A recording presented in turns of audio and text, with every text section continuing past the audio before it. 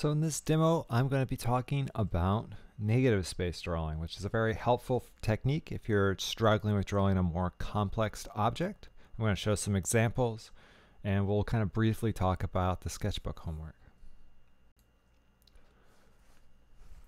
So often inside of my intro to drawing class, I would come in and it would be a still life like this and it'd be pretty complicated and I'd get kind of lost in the sauce, lost in all the stuff going on, and it was hard to kind of sight some things.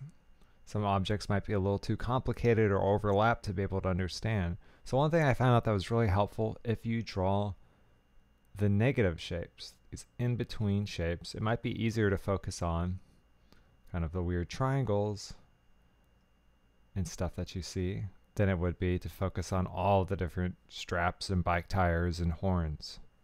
So let's look into negative space drawings a little bit. So the reason for this exercise, it better helps us to understand the ratio of figure to ground, because if you start to shade in all of your negative space and you realize that it's all black, you're going to understand that figure to ground relationship a lot easier. Uh, it's also going to help us break down complicated shapes and better understand them. So if I was going to go draw some plants and I was really struggling with them, I might first draw those negative shapes. Or this goat boy over here. He's pretty complicated. I might be having trouble getting the horns to look right. So instead of focusing so much on all the details, focusing on the legs that overlap, I might just focus on the shapes in between the legs. So that's what we're going to do with this type of drawing. We're going to start off by drawing the in-between spaces and not the actual figure and then we're going to shade it in from there. So we're going to use our viewfinders, maybe you do some thumbnail sketches to make a good composition.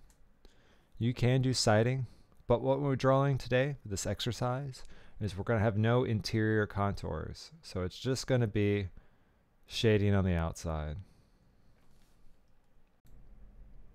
So the steps you're going to take to do a negative space drawing is you're going to be working with graphite. You're going to do a contour line drawing. So you're going to be sighting to get more accurate proportions, trying to find the right angles. Then you're going to go erase all of your finding lines and sighting marks. And we're going to use a softer pencil, softer graphite pencil to kind of shade the background, that negative space in black. So we're going to black out the background. If you got spray fixative and you want to use it, you can definitely spray stuff down so it doesn't get smudged. And we're going to document it and put it up on canvas for sketchbook points. So over here you can see there's an easel, there's some chairs stacked on top of one another. You know, that's usually a pretty classic still life when we're doing this. And that person is focusing on not so much the chairs, but the gaps, the spaces in between the chairs.